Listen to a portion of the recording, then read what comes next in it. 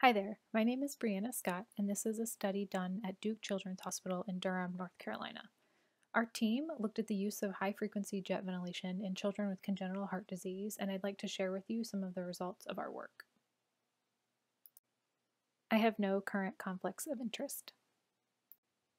High frequency jet ventilation is primarily used in neonates, but may also have a role in the treatment of older children with respiratory failure. Complex cardiopulmonary interactions exist in children with congenital heart disease, especially among those with severe lung disease. Alternative ventilation techniques may be needed to support gas exchange in instances when conventional mechanical ventilation is unable to do so without noxious settings. Our team hypothesized high frequency jet ventilation would improve gas exchange in patients who failed conventional mechanical ventilation, as measured by a decrease in PaCO2. This study was retrospective, and we included all pediatric patients with complex congenital heart disease who received high frequency jet ventilation in the pediatric cardiac ICU between July of 2014 through December of 2018. Patients in whom high frequency jet ventilation was started while on ECMO were excluded. We extracted data on demographics, pulmonary mechanics, ventilator settings, arterial blood gases, need for ECMO, need for inhaled nitric oxide, and survival.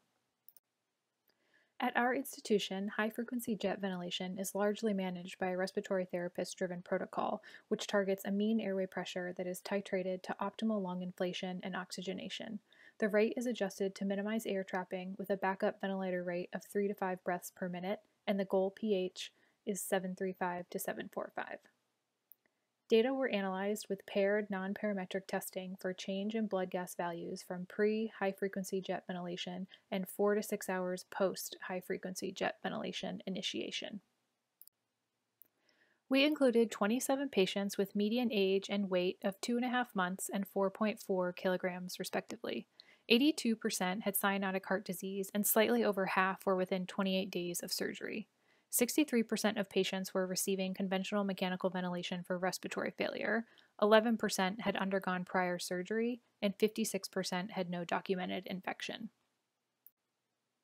This table shows the results when we compared patients prior to high frequency jet ventilation with 4 to 6 hours post initiation. Initial conventional ventilator settings were a rate of 30, a peak inspiratory pressure of 30, and a PEEP of 8 with a mean airway pressure of 15. Jet ventilator settings were a rate of 360, peak inspiratory pressure of 45, an I time of 0.02 seconds, and a mean airway pressure of 14. Compared to conventional mechanical ventilation, at 4 to 6 hours post high frequency jet ventilation, there were significant differences in median pH and PaCO2, but no differences in PaO2, base deficit, bicarbonate, or lactate. When we examine outcomes, median time spent receiving any mechanical ventilation was a total of 15 days. Patients received conventional mechanical ventilation prior to high frequency jet ventilation for approximately eight and a half days, and most patients spent 1.2 days receiving jet ventilation. 13 patients survived, 6 required ECMO, and non survivors were significantly more likely to have required ECMO. In conclusion, high frequency jet ventilation is a feasible modality in children with congenital heart disease and severe respiratory failure who failed conventional mechanical ventilation and results in improved ventilation as evidenced by a reduction in PaCO2, although mortality was still high at 52%.